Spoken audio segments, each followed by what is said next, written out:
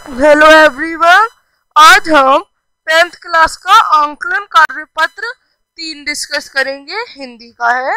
SST Hindi medium class tenth निम्नलिखित में से कौन सा नवीनकरणीय संसाधन है? कोयला नहीं, सोना भी नहीं है।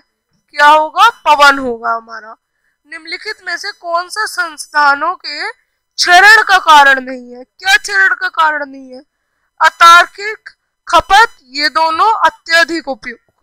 क्या नहीं है? नन ऑफ़ दीज है। इनमें से कोई नहीं है। निम्नलिखित में से बेल्जियम की राजधानी ब्रुसेल्स का सबसे बड़ा भाषाई समूह कौन सा है? कौन सा है? फ्रांच है। निम्नलिखित में से कौन सा प्रक्षक साधन नहीं है? विद्यालय। पांचवा, निम्नलिखित में से संसाधनों के विकास की कौन सी एक चुनौती नहीं है? कुछ ही हाथों में संचय संसाधनों का क्षरण संसाधनों का अंधाधुंध उपयोग या संसाधन नियोजन?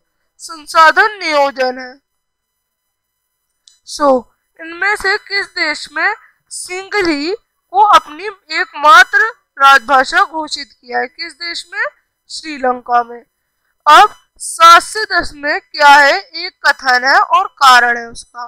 तो पहले ऑप्शन क्या हो सकता है? पहले ऑप्शन में ये है कि दोनों करेक्ट है, पर जो हमारा एसरेशन है, हमारा कथन है, वो गलत है।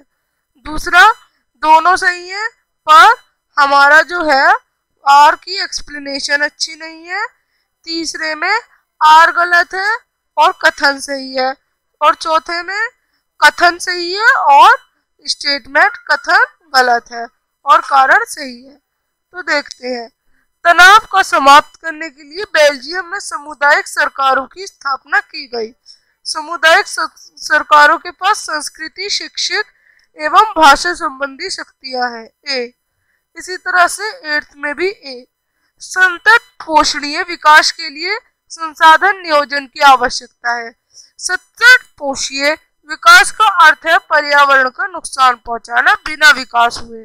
तो वर्तमान में विकास से भविष्य की पीढ़ियों की जरूरतों में समझौता नहीं करना चाहिए। तो कौन सा ए ऑप्शन आएगा? बिल्कुल सही है। दसवें में हम देख सकते हैं कि जो दोनों सही है, पर यहाँ पे क्या है कमी? यहाँ पर रीजन में अच्छे से नहीं बता रखा। तो इस तरह से वर्कशीट खत्म होती है। अब हम मिलेंगे नेक्स्ट असाइनमेंट वर्कशीट के साथ। तब तक के लिए बाय चैनल को लाइक सब्सक्राइब ज़रूर करें। बाय